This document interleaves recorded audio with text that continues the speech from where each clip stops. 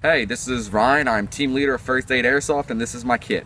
Starting off from the top, I've got a replica PASGT helmet I got from Army Navy Surplus. I've got my GoPro Hero 3 Black Edition to record all the awesome YouTube videos. I've got GXG goggles with tinted lenses in. I've got an OD in black Shemagh to keep the bottom of my face protected. I've got Woodland BDUs and a Condor MOLLE vest. On here, I've got an admin pouch with some patches on it, keep my phone and extra battery in there. I've got my radio pouch with a Midland radio to keep in contact with all my teammates.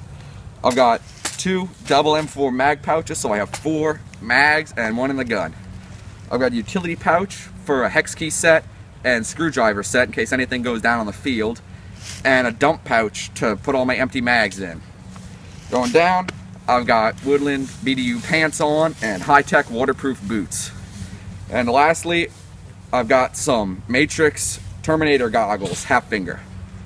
Alright, now to my gun. This started off as a TSD Tan M4, and it's not tan anymore. I've got a Pro Arm suppressor that goes right onto the M4 birdcage flash hider.